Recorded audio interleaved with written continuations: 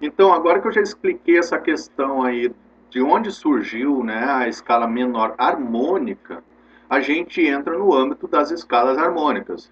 A gente tem as escalas primitivas, as escalas harmônicas e as escalas melódicas, tá?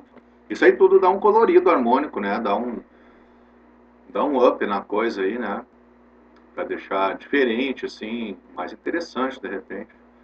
Então é por isso que eu entrei nesse assunto, assim, na, na intenção né, de, de mostrar formas de, de deixar a música mais interessante, com uma sonoridade diferente, né?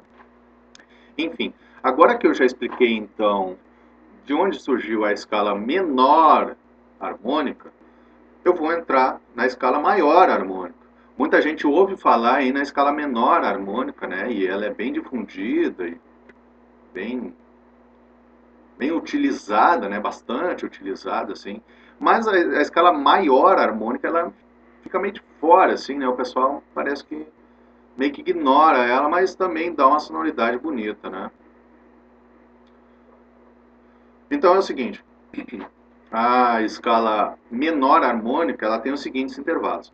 Tônica, segunda maior, terça menor, quarta justa, quinta justa, sexta menor e sétima maior. Depois a oitava justa, claro. Então, notem que existe um intervalo de um tom e meio entre o sexto grau e o sétimo grau, certo? Ou seja, a gente tem um Lá bemol e um Si natural. Isso é um tom e meio, certo? É uma característica forte da escala menor harmônica.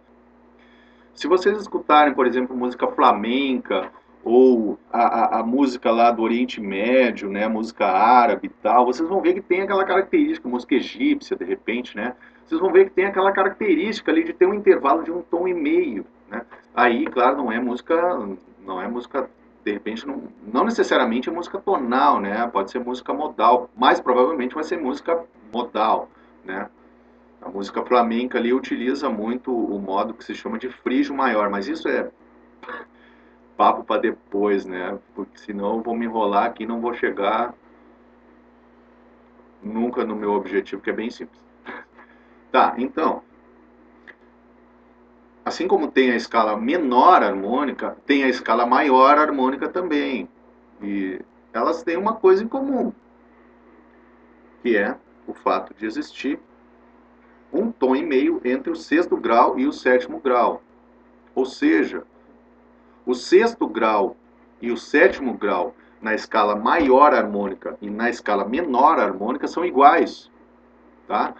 O sexto grau na escala menor harmônica é Lá bemol. E o sexto grau na escala maior harmônica é Lá bemol também. Tá? O que, que acontece? Qual é a diferença da escala maior primitiva para a escala maior harmônica. É que se baixa o sexto grau, tá? O Lá vira Lá bemol, ok?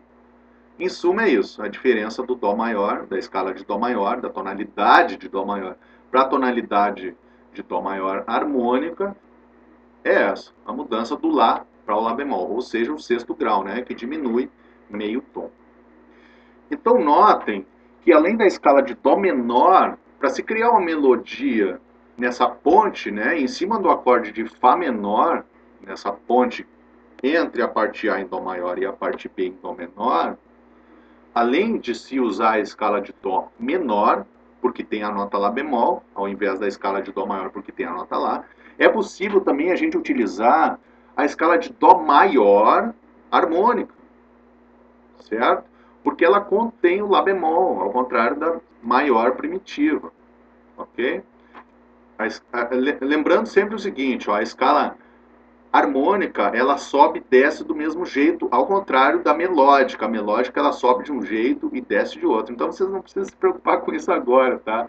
É só pensar, assim, que tem aquele tom e meio ali entre o sexto e o sétimo grau e tá beleza. Então, é mais uma possibilidade de escala que vocês têm para utilizar na ponte em cima do acorde de Fá menor entre a parte A e a parte B. Além, portanto, do, da escala de Dó menor, vocês podem utilizar a escala de Dó maior harmônica, certo?